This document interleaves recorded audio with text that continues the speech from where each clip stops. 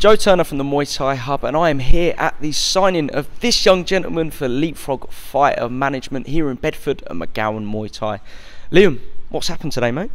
Uh, got offered a contract from Leapfrog Fight Night, Leapfrog Fight Management, and um, yeah, it was when I read through the contract, I was kind of looking for little clauses that maybe could like stop certain parts of my career, but it the contract looked sound and the money was crazy compared to what I've been getting paid for other fights. So it was a no-brainer, and jumping on with everyone as like part of that team, they're looking to forward my career. So it's all bonuses coming from them, and I just got to turn up, fight like I always do, and yeah, get to the top.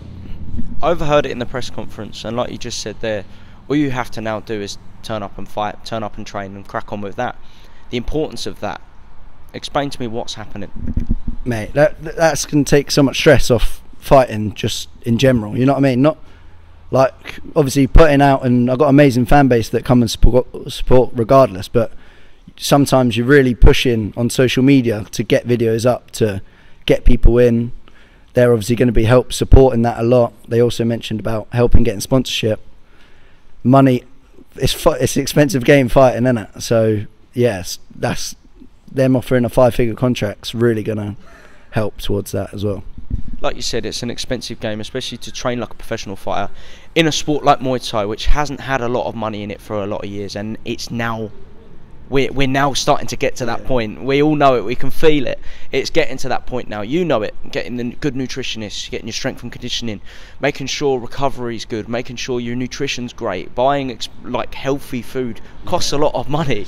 So now you've got that kind of comfortable side of it with the with the money. You're getting more money than you've ever been getting. You've now got your socials backed by Leapfrog Fighter Management. They're going to help you expose yourself in terms of just a fighter around the world. Where can you see your career going within the next year? I'd like to think UK number one, definitely. That that's my aim. I want to be the best in the UK, and um, it's good. Everyone going to like one and stuff. They're looking Leapfrog are looking to bring everyone to the UK. So, if number one in the UK, then bring people from abroad over. You know what I mean? What can we expect from you on Leapfrog Fight Night versus David Sinclair? Great fight, by the way. I am really excited for it. But you are the main man of the moment now. What can I expect? Uh, you can expect fireworks. I'm always technical but violent. And uh, yeah, you can see me getting my hand raised June 15th, 100%. Like you said, you're technical but violent. Dan spoke very highly of you, your head coach here at McGowan Muay Thai. He said you're almost someone that has that beautiful technical style but brings the violence with it too. Describe your fighting style to me. How would you describe it? Um, don't know. Uh, it's definitely heavily influenced through Dan. Even before I joined McGowan Muay Thai, I was watching Dan obviously kill it in the UK. So I've definitely picked up that style. There's like obviously other people like Liam Harrison and stuff where he's really aggressive, and I think it's just a mixture of a few styles to be fair. But yeah, I'm always going in there with the intentions of taking them out. Sometimes work them out a little bit first, but uh, the aim for every fight is to knock them out. So.